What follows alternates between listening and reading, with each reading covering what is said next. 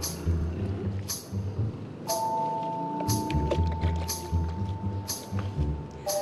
morning, Happy! Ano maganda sa morning kung yan ang babalandra sa'yo? Hi! Magandang araw po. Hindi na kayo nahiya? Nakaganyan kayo sa harapan ng tao, sa harapan pa ng bata? Pabayaan niyo na, ha? Iniwan kasi siya ng boyfriend niya, kaya medyo galit sa mundo.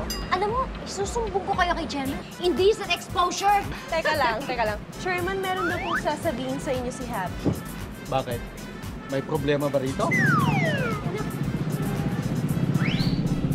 sa ating dalawa, kaya ko siyang bigyan ng tunay na anak.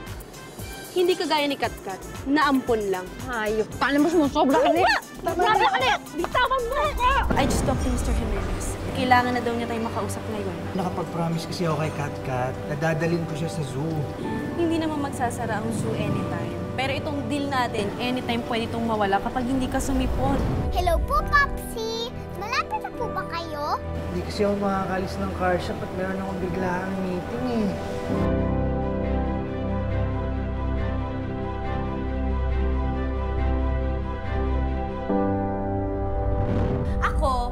Malinaw sa akin ang priority ko. Si Katkat, ikaw ang prioridad mo, ang relasyon mo kay Agatha.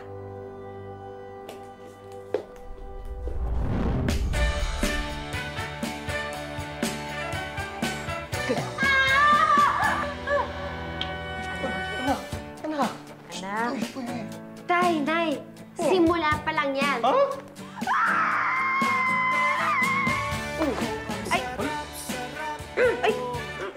be.